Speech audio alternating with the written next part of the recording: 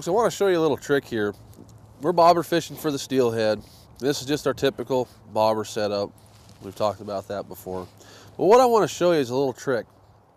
Most people buy their bobber stops with this, which is this guy right up here, which I set the depth where I want it to be. My bobber slides up, hits it, and stops it. Most people buy these pre-packaged. What I want to do is show you how to make your own, and there's two reasons why. When you make your own, you can make them out of a little heavier Dacron, which they last a lot longer. The other thing that happens as you're fishing, as you can see, this one's getting pretty worn.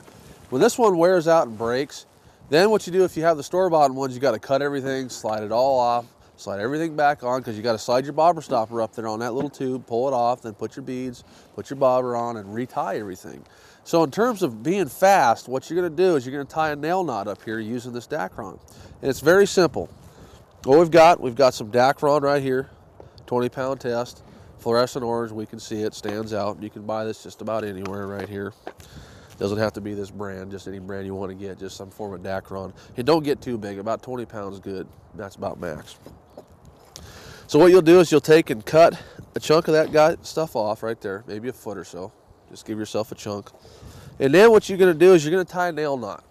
And you can do a couple different tools. This is a tie fast tool. You can find these in most fly shops. Pretty, pretty common tool everywhere. You can use straws. Um, our DVD, Knot Tying Secrets Revealed, we talk about how to tie nail knot using straws. Uh, but this little tie fast tool. We had this here. I didn't have the straws with me, so we'll show you how to use this. All we're gonna do is just take this guy here and you just lay your line right in the center of it right there, just like that.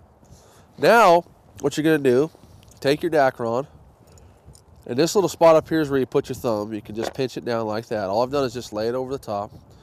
Now, what you're gonna do, lay this out the front like this, take this bottom guy and just start wrapping.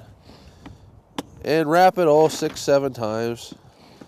You don't want to make a big, huge knot because it won't go through your guides that well, but six or seven times will do. Laying them right next to each other. You don't want them to stack on top, so laying them right next to each other.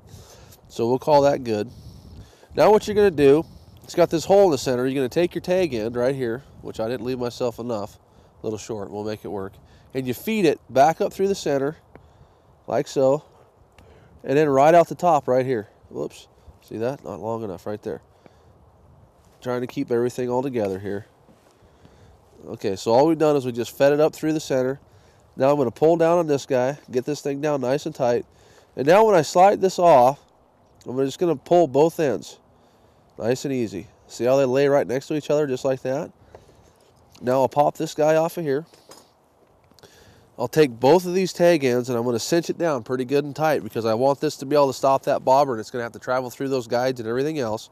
So make sure you take your tag ends, pull it down nice and tight, and then all you'll do is just come in, grab your pliers, cut them down. You don't want them real tight. You want to leave a little tag in there.